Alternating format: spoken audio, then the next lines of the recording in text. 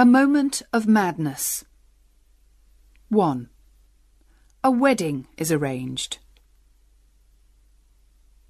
Most people who knew Baptista Trewthen agreed that there was nothing in her to love, and nothing in her to hate. She did not seem to feel very strongly about anything. But still waters run deep, and nothing had yet happened to make her show what lay hidden inside her, like gold underground. Since her birth, she had lived on St. Maria's, an island off the southwest coast of England. Her father, a farmer, had spent a lot of money on sending her to school on the mainland. At nineteen, she studied at a training college for teachers, and at twenty-one, she found a teaching job in a town called Tor upon Sea, on the mainland coast. Baptista taught the children as well as she could, but after a year had passed, she seemed worried about something. Mrs. Wace, her landlady, noticed the change in the young woman and asked her what the matter was. It has nothing to do with the town or you, replied Miss Trewthen. She seemed reluctant to say more. Then, is it the pay? No, it isn't the pay.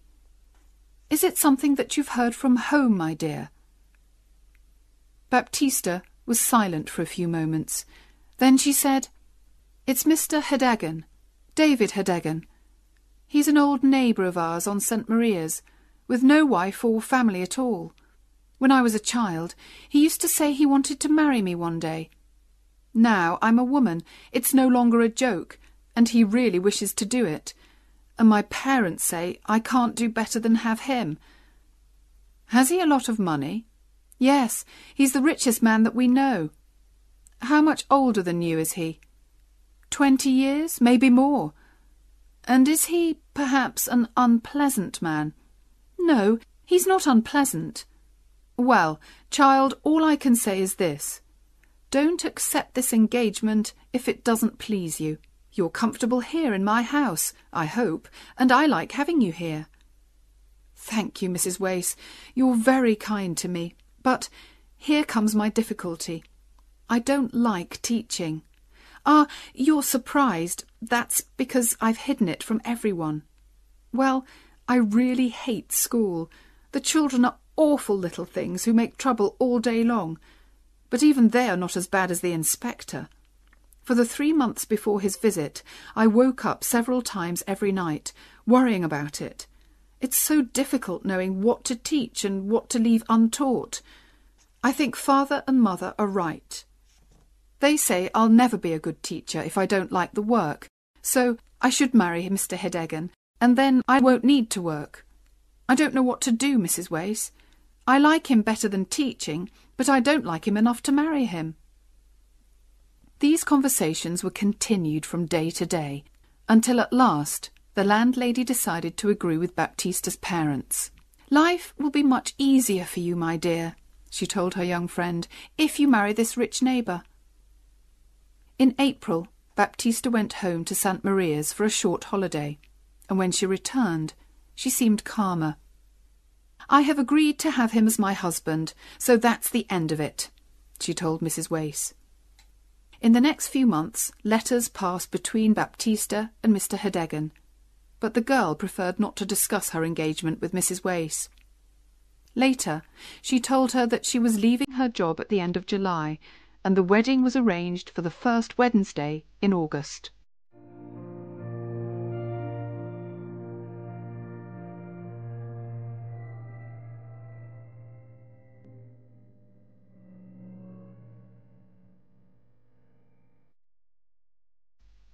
Two, a chance meeting.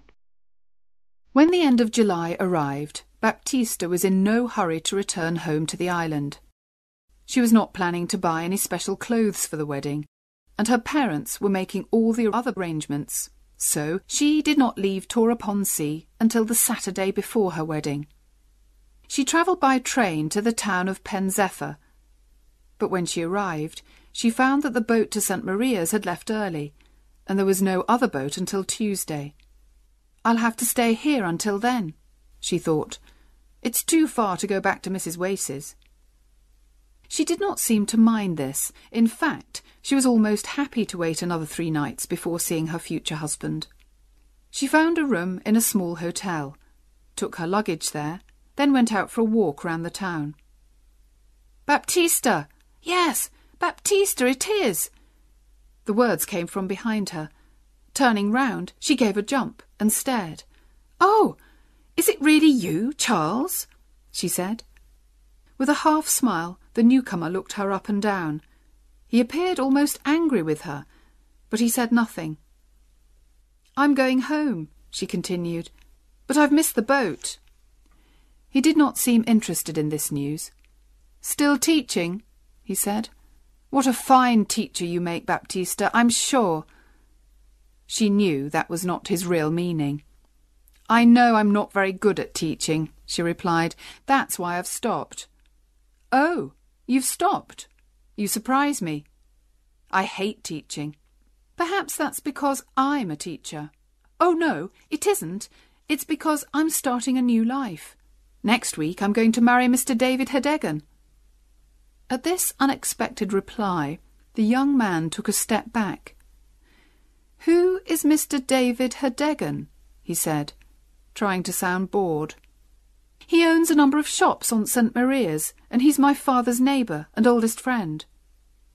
So, no longer a school teacher, just a shopkeeper's wife. I knew you would never succeed as a teacher. You're like a woman who thinks she can be a great actress just because she has a beautiful face and forgets she has to be able to act. But you found out your mistake early, didn't you? Don't be unpleasant to me, Charles, Baptista said sadly. I'm not being unpleasant. I'm just saying what is true, in a friendly way. Although I do have good reason to be unpleasant to you. What a hurry you've been in, Baptista. I do hate a woman in a hurry. What do you mean? Well, in a hurry to be somebody's wife. Any husband is better than no husband for you, it seems. You couldn't wait for me. Oh, no. Well, thank God that's all in the past for me. Wait for you? What does that mean, Charlie? You never showed that you felt anything special for me. Oh, really, Baptista, dear. What I mean is, there was nothing that I could be sure of. I suppose you liked me a little, but I didn't think you meant to make an honest engagement of it. That's just it. You girls expect a man to talk about marrying after the first look. But I did mean to get engaged to you, you know. But you never said so and a woman can't wait for ever. Baptista, I promise you that I was planning to ask you to marry me in six months' time. She appeared very uncomfortable, and they walked along in silence. Soon he said, Did you want to marry me then? And she whispered sadly back, Yes. As they walked on, away from the town and into the fields, her shoulder and his were close together. He held her arm with a strong hand. This seemed to say, Now I hold you, and you must do what I want. How strange that we should meet like this, said the young man. You and I could be husband and wife going on our honeymoon together, but instead of that, we'll say goodbye in half an hour, perhaps for ever. Yes, life is strange. She stopped walking. I must go back. This is too painful, Charlie. You're not being kind today. I don't want to hurt you. You know I don't, he answered more gently. But it makes me angry what you're going to do. I don't think you should marry him. I must do it, now that I've agreed. Why? he asked, speaking more seriously now. It's never too late to stop a wedding if you're not happy with it. Now, you could marry me instead of him, although you were in too much of a hurry to wait for me. Oh, it isn't possible to think of that, she cried, shaking her head. At home, everything will be ready for the wedding. If we marry, it must be at once. This evening, you can come back with me to Trufal, the town where I live. We can get married there on Tuesday, and then no Mr. David Heddegan or anyone else can take you away from me. But I must go home on the Tuesday boat, she said, worriedly.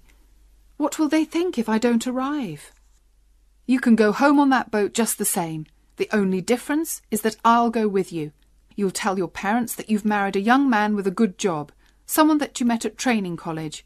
When I meet them, they'll accept that we're married and it can't be changed, and you won't be miserable forever as the wife of an awful old man. Now, honestly, you do like me best, don't you, Baptista? Yes, she whispered. Then we will do what I say.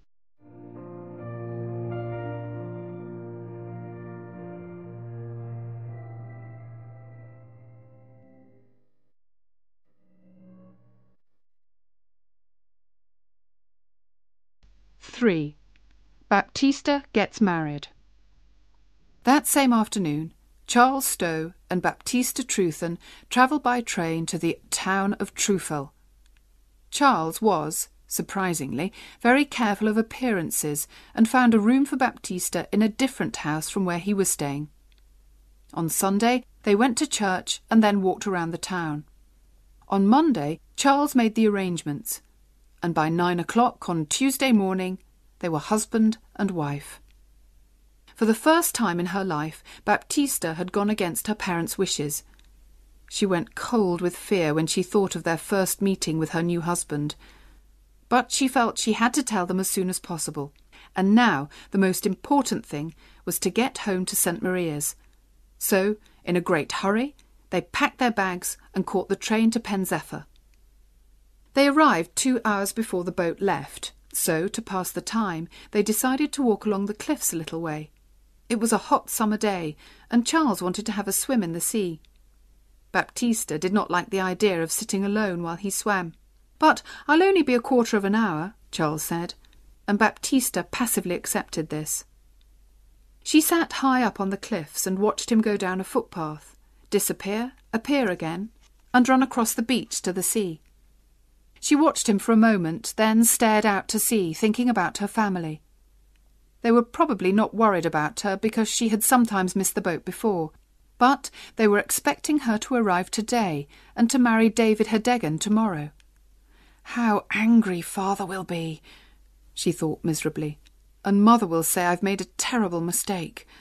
I almost wish I hadn't married Charles in that moment of madness. Oh dear, what have I done? This made her think of her new husband, and she turned to look for him. He did not appear to be in the sea any more, and she could not see him on the beach. By this time she was frightened, and she climbed down the path as quickly as her shaking legs could manage. On the beach she called two men to help her, but they said they could see nothing at all in the water. Soon she found the place where Charles had left his clothes, but by now the sea had carried them away. For a few minutes she stood there without moving. There was only one way to explain this sudden disappearance. Her husband had drowned. And as she stood there, it began to seem like a terrible dream, and the last three days of her life with Charles seemed to disappear. She even had difficulty in remembering his face. How unexpected it was, meeting him that day, she thought. And the wedding, did I really agree to it? Are we really married? It all happened so fast. She began to cry, still standing there on the beach. She did not know what to do, or even what to think. Finally, she remembered the boat, and catching the boat home seemed the easiest thing to do. So she walked to the station, arranged for someone to carry her luggage, and went down to the boat. She did all this automatically, in a kind of dream. Just before the boat left, she heard part of a conversation which made her sure that Charles was dead. One passenger said to another, A man drowned here earlier today, you know. He swam out too far, they say. A stranger, I think. Some people in a boat saw him, but they couldn't get to him in time. The boat was a long way out to sea before Baptista realised that Mr. Heddegan was on the boat with her. She saw him walking towards her and quickly took the wedding ring off her left hand. I hope you're well, my dear, he said. He was a healthy, red-faced man of fifty-five. I wanted to come across to meet you. What bad luck that you missed the boat on Saturday. And Baptista had to agree and smile and make conversation. Mr. Heddegan had spoken to her before she was ready to say anything. Now the moment had passed. When the boat arrived, her parents were there to meet her. Her father walked home beside Mr. Heddegan, while her mother walked next to Baptista, talking all the time. I'm so happy, my child, said Mrs. Trewthen in her loud, cheerful voice, that you kept your promise to marry Mr. Heddegan. How busy we've been! But now things are all ready for the wedding, and a few friends and neighbours are coming in for supper this evening. Again, the moment for confessing had passed, and Baptista stayed silent. When they reached home, Mrs. Trewthen said, Now, Baptista, hurry up to your room and take off your hat, then come downstairs. I must go to the kitchen. The young woman passively obeyed her mother's orders. The evening was a great success for all, except Baptista. She had no chance to tell her parents the news, and it was already much more difficult than it had been at first. By the end of the evening, when all the neighbours had left, she found herself alone in her bedroom again. She had come home with much to say, and had said none of it. She now realized that she was not brave enough to tell her story, and, as the clock struck midnight, she decided it should stay untold. Morning came, and when she thought of Charles, it was more with fear than with love. Her mother called from downstairs, Baptista, time to get up. Mr. Heddegan will be at the church in three quarters of an hour. Baptista got out of bed, looked out of the window, and took the easy way. She put her best clothes on, confessed nothing, and kept her promise to marry David Heddegan.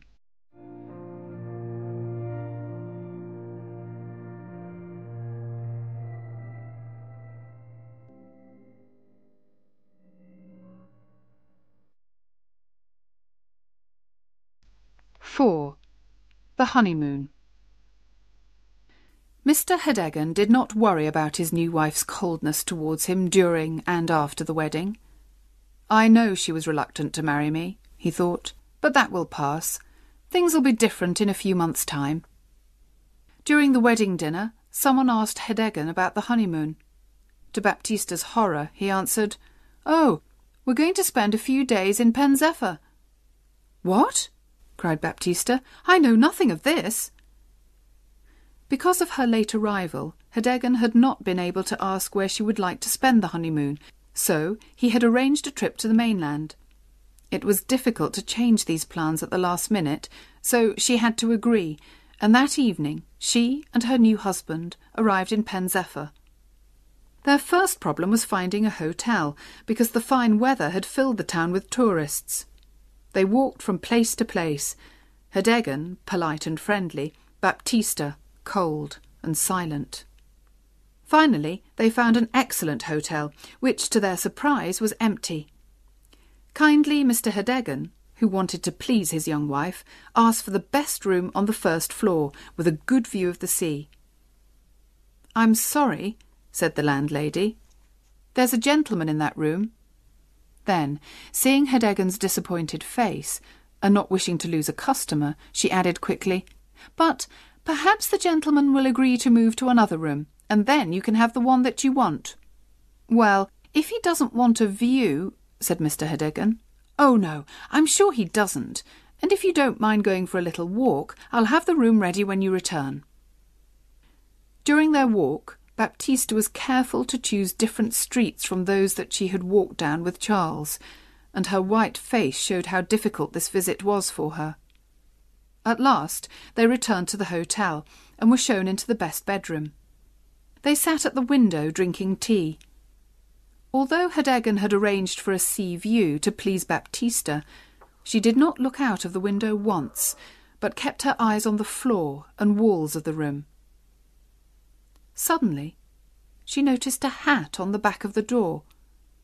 It was just like the hat that Charles had worn. She stared harder. Yes, it was the actual hat. She fell back in her chair. Her husband jumped up, saying worriedly, You're not well. What can I get ye? Smelling salts, she said quickly, her voice shaking a little. From the shop, near the station. He ran out of the room, Baptista rang the bell, and when a young girl came, whispered to her, That hat! Whose is it? Oh, I'm sorry, I'll take it away, said the girl hurriedly. She took the hat off the door. It belongs to the other gentleman. Where is the other gentleman? asked Baptista. He's in the next room, madam. He was in here. But I can't hear him. I don't think he's there. He makes no noise, but he's there, replied the girl. Suddenly, Baptista understood what the girl meant, and a cold hand lay on her heart. Why is he so silent? she whispered. If I tell you, please don't say anything to the landlady, begged the girl, or I'll lose my job. It's because he's dead. He's the young teacher who drowned yesterday. They brought his body here, and that's why there's nobody staying in the hotel. People don't like a dead body in the house. But we've changed the sheets and cleaned the room, madam. Just then, Heddegan arrived with the smelling salts, and the girl left the room. Any better? he asked Baptista. I don't like the hotel, she cried. We'll have to leave. For the first time, Heddegan spoke crossly to his wife. Now that's enough, Baptista. First you want one thing, then another. It's cost me enough, in money and words, to get this fine room, and it's too much to expect me to find another hotel at this time of the evening. We'll stay quietly here tonight, do you hear, and find another place tomorrow. The young woman said no more. Her mind was cold with horror. That night she lay between the two men who she'd married. David Heddegan on one side, and on the other side, through the bedroom wall, Charles Stow.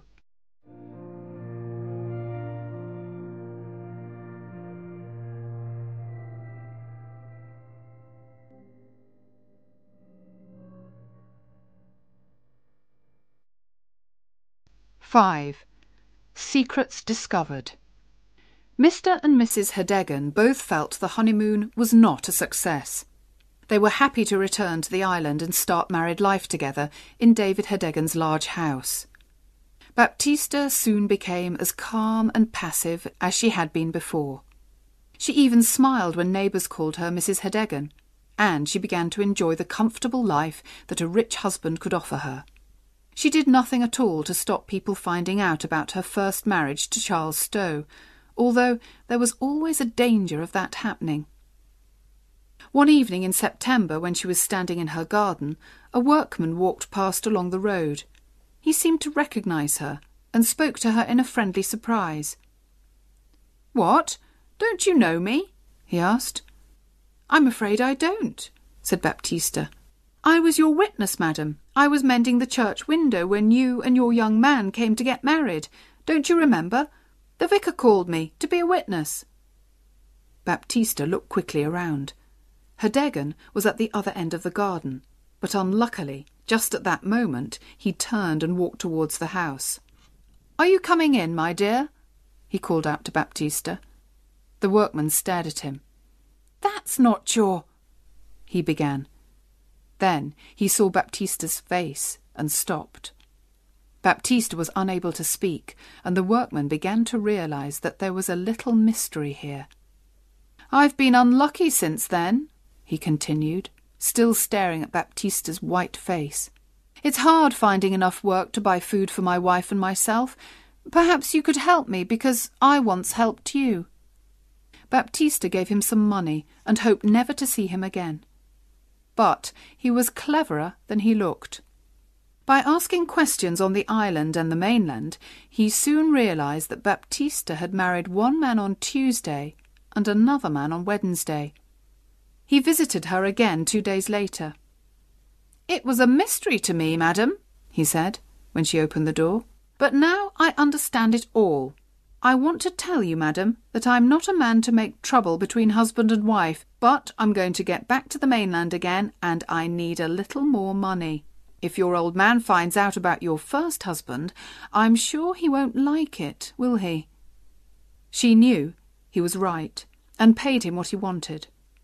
A week later, the workman sent his wife to ask for more money, and again Baptista paid. But when there was a fourth visit, she refused to pay and shut the door in the man's surprised face. She knew she had to tell her husband everything. She liked him better now than she had done at first, and did not want to lose him. But her secret was no longer safe. She went to find him and said, David, I have something to tell you. Yes, my dear? he said, with a sigh. In the last week he had been less cheerful and had seemed worried about something. When they were both in the sitting room, she said, David, perhaps you will hate me for this, but I must confess something that I've hidden from you. It happened before we were married, and it's about a lover. I don't mind. In fact, I was hoping it was more than that. Well, it was. I met my old lover by chance, and he asked me, and, well, I married him. We were coming here to tell you, but he drowned, and I said nothing about him, and then I married you, David, for peace and quietness. Now you'll be angry with me. I know you will. She spoke wildly, and expected her husband to shout and scream, but instead the old man jumped up and began to dance happily around the room. Oh, wonderful! he cried. How lucky! My dear Baptista, I see a way out of my difficulty. Ha ha! What do you mean? she asked, afraid he had gone mad. Oh, my dear, I've got something to confess too. You see, I was very friendly with a woman in Pen Zephyr for many years. Very friendly, you could say, and in the end I married her just before she died. I kept it secret, but people here are beginning to talk, and I've got four big girls to think of. Oh, David, four daughters? she cried in horror. That's right, my dear. I'm sorry to say they haven't been to school at all. I'd like to bring them to live here with us, and I thought by marrying a teacher I could get someone to teach them, all for nothing. What do you think, Baptista? Four grown girls always around the house, and I hate teaching. It kills me. But I must do it. I can see that. I am punished for that moment of madness. I really am. Here, the conversation ended. The next day, Baptista had to welcome her husband's daughters into her home. They were not good looking or intelligent or even well dressed, and poor Baptista could only look forward to years of hard work with them. She went about sighing miserably, with no hope for the future. But when Heddegan asked her a month later, How do you like 'em now? her answer was unexpected. Much better than at first, she said. I may like them very much one day. And so began a more pleasant time for Baptista Heddegan. She had discovered what kind, gentle girls these unwelcome daughters were. At first she felt sorry for them, then grew to like them, and from liking she grew to love them. In the end, they brought her and her husband closer together. And so Baptista and David were able to put the past behind them and find unexpected happiness in their married life.